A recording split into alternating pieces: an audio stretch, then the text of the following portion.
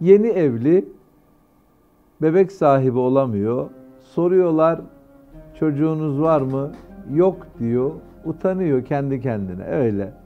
Bir kızımız da elhamdülillah aldığı, istediği, aldığı nedir o? Hamail-i Şerif ile 8. ayında Allah alem bebeği karnında doğum yapacak sizden dua istiyor.